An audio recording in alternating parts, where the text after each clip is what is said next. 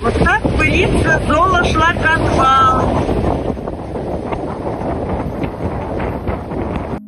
Мы уже рассказывали о том, как 6 июня над озером Кинон в Чите поднялась серая стена пыли. Тогда местные жители выстраивали самые разные предположения, что это мог быть пожар или песок. Мы выяснили, что пыль поднялась из золошлакоотвала, котлована, куда складируют золу и шлак от сгоревшего угля на ТЭЦ-1, которая в свою очередь находится в ведении ТГК-14. Чтобы разобраться, насколько нежелательно или, может быть, даже опасно такое явление, мы пригласили с собой эксперта. Кандидат биологических наук объяснила, что котлованы для отходов должны быть защищены от пыления водой или же вяжущими растворами.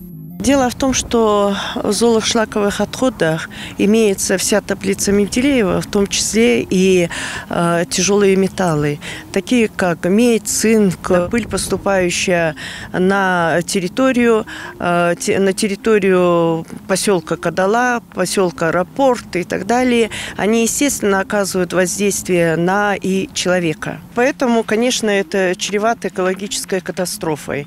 Э, связано с болезнями, если мы будем говорить о населении э, легочными заболеваниями э, верхних дыхательных путей. А если говорить об озере Кинон, то наши исследования показывают, что э, в воде э, велико содержание э, тяжелых металлов, таких как э, свинец, медь, цинк, э, молибден, мышьяк, э, стронций, ну вот такие ряд тяжелых металлов, которые мы находили в воде. Приятного и полезного здесь мало. Помимо обращения Народного фронта в природоохранную прокуратуру, мы отправили запрос руководителю ТГК-14, чтобы выяснить причину выбросов, которые явно не несут ничего хорошего.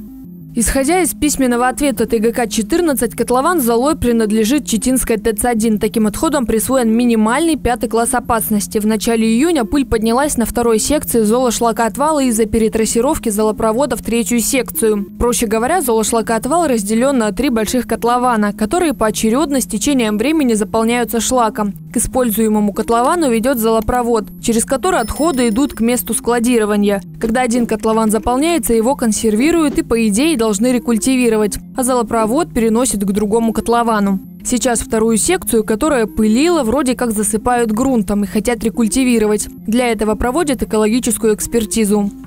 Вы знаете, что ТЭЦ-1 был открыт в 1965 году. Когда мы прошли, вы увидели котлован первого золошлакотвала.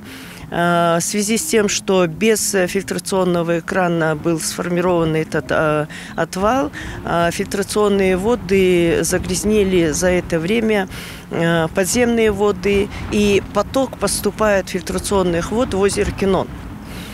И кроме этого потока загрязняются, э, загрязнены подземными водами река Кадалинка, которая также поступает в озеро Кинон, и сточные воды самого э, ТЭЦ-1. Поэтому вот эти три потока э, загрязняющих веществ поступают в озеро Кинон. Когда в следующий раз решите организовать семейный выезд на Кинонский пляж, подумайте, а стоит ли оно того. Валерия Наумова, ЗАП ТВ.